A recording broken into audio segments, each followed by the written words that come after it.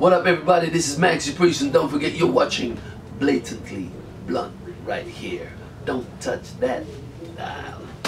Right now, you're watching Blatantly Blunt TV. Okay, I'm here today with a true legend of reggae music. He's been making music since 1981, longer than most of you guys have been alive.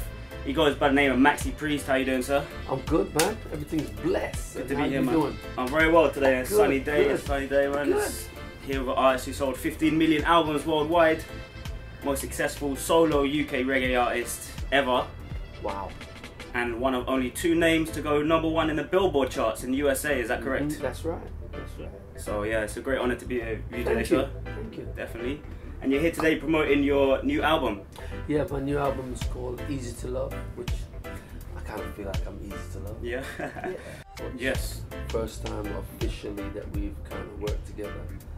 Um, uh, a lot of people may think that's kind of unusual because um, they distributed a lot of stuff that we put out on Virgin back in the day. Yeah, yeah, definitely. I was gonna say it sounds like a match made in heaven, if you ask me, man. Yeah, Of course, so- you, you know, um, I, I see uh, VP as uh, the foundation Mm. and the, the grounds of uh, reggae music today. The game has changed so much from when we used to uh, put out records with uh, Virgin Records. I was there for what 18 years with Virgin Records, so I kind of got used to a certain kind of lifestyle. Yeah. you know what I'm saying? Yeah.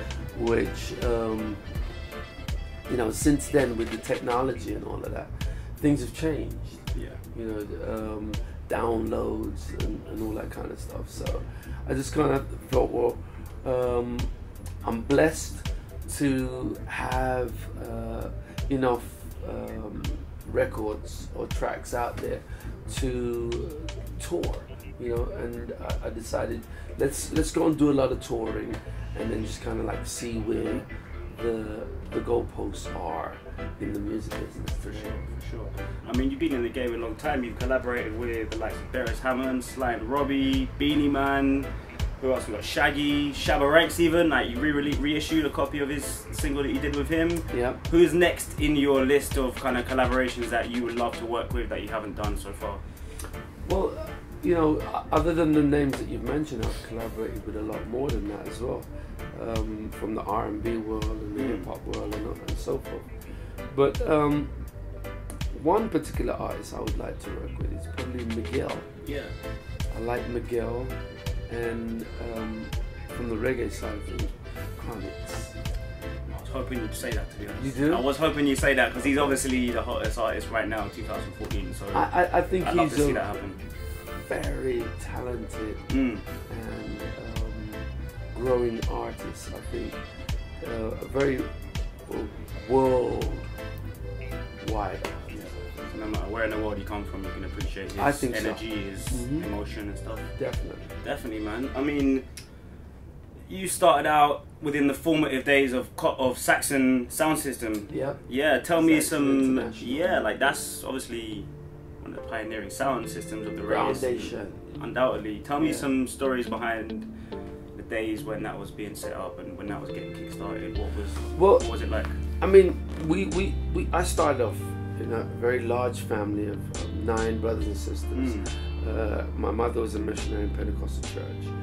Um, I was always uh, encouraged to sing and, and, and stuff like that. Out of the nine of us, Yeah. uh, four of us was born in England. So in, in our home, they had a massive uh, West Indian influence. Okay, um, as soon as you stepped out the door, it was a slightly different kind of climate. Um, people would ask us to leave the country and go back to the country that we came from, and we kind of thought that was a bit strange because we were born in England.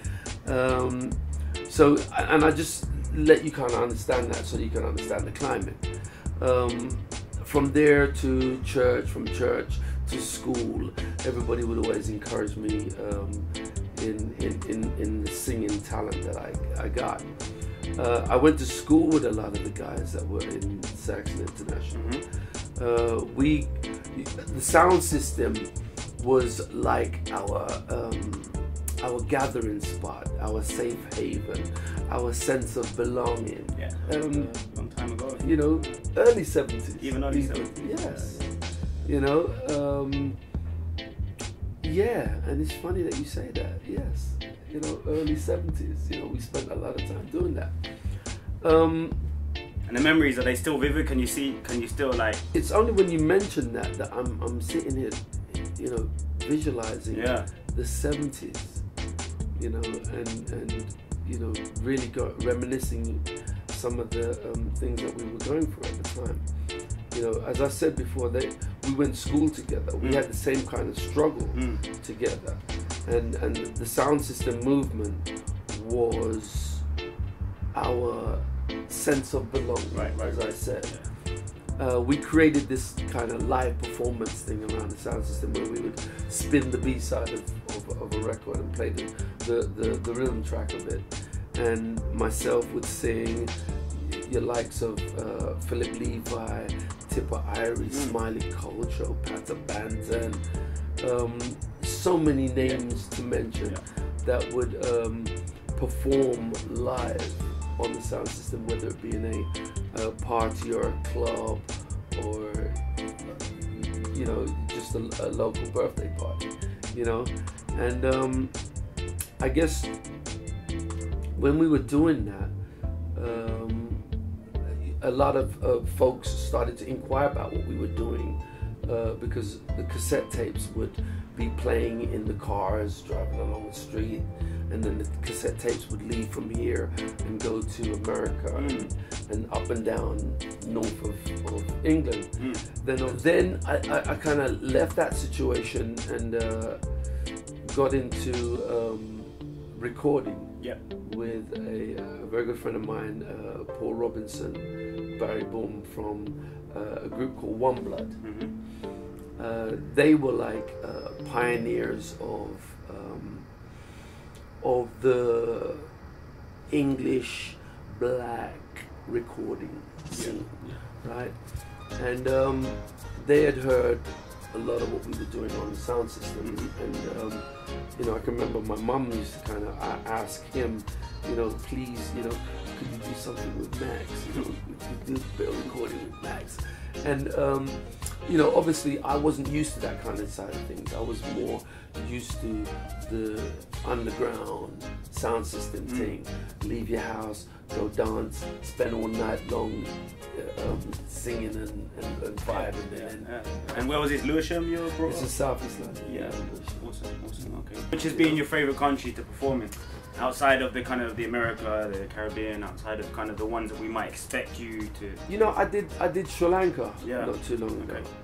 Very unusual. Mm. you know.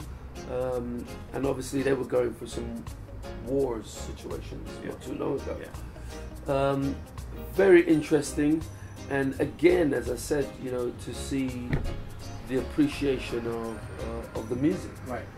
You know, Yeah, um, yeah. when I sit back and think, um, a kid from Southeast London in, you know, in this middle seventies, thinking, well, you know, wow, um, would I ever be able to have a song on the road Yeah. Or meet somebody like Dennis Brown or, Mm. or Bob Marley or, you know, Sting or, or any guys like that? Um, for me to be able to be playing in somewhere like Sri Lanka or India or J- Japan or China like that is that was just you know I mean, as a veteran of the game yourself, which tips have you got for anyone trying to make it in the music game in the current music scene? I would say that um, perseverance Yeah. really is the key. Dedication, hard work. Um, there's there's as much highs as there is lows, Mm. and you've got to be able to uh, add a little bit of thick skin and kind of like uh, push your way through some of those Yeah. You know. And one last thing, what two words or three words would you use to sum up the new album? Easy to love. Yeah, that's it. Answers in the title.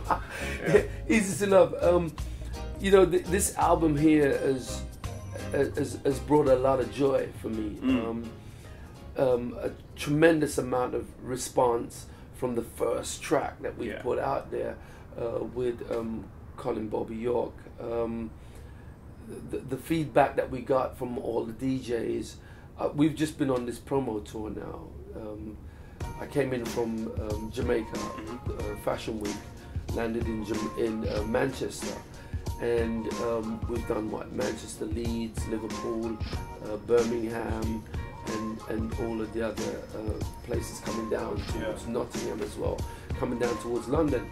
And um, I had two favorite songs on this album, which would probably be Gravity and um, Holiday. And since I've done th- this little tour here, my favorites have kind of changed because everybody else has got their different favorite. Yeah. And I am really on a high right now. Yeah. You know, I feel like I feel like I'm I'm moving with a with a um, a mass Yeah. of, of people. I feel like I'm I'm heading the mass of a of a lot of people with this album. I'm so confident with it. Um, there's many of albums that I've done with uh, the major record companies back in the day, which uh, you, you do one and two tracks and, and when you take the album home it's like you, you want to you, you play it and you kind of cringe when one and two tracks Oh. come on and you kind of go yo I kind of hope you understand where we're going with this because we have to sh- you know you have to break bread and you have to kind of share the vibe with Mm. with um, the people that are um, spending their money with you you know what I'm saying Yeah. Whereas this particular album with with VP, then I kind of feel like it's home. I don't have to sit here and kind of explain to to everybody in, in in VP how it started, where it come from, where we're trying to go. Do you know what I'm saying? Which I had to do a lot of that with major record companies. Um, don't get it twisted either. I'm, I mean, I'm an advocate for pushing the Right. envelope Yeah, and yeah. and doing things outside the box. But this particular album here, I can play it from top to bottom and and feel really solid, mate. You know, Okay. Last question. Your Yes. pendant. my pen. Tell me a story about that, man. It looks really interesting. Oh, it's me. That's you? Yeah. Of course. Where's it from? This is um, this is given to me by a fan. Wow. You know, in the states. Okay. They made it for me. You know, it's it's solid silver. You know, it's got a bit of a weight on it.